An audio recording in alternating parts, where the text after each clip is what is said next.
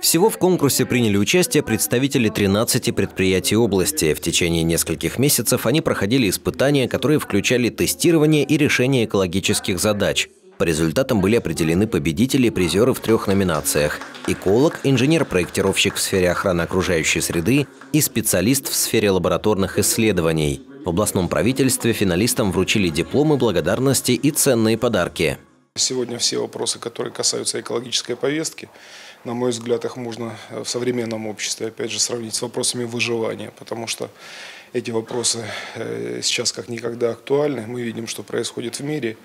И как раз ключевую роль во всем этом играют как раз отраслевые экологи, экологи предприятий, которые внедряют лучшие технологии на производствах, что влечет за собой снижение негативного воздействия на окружающую среду.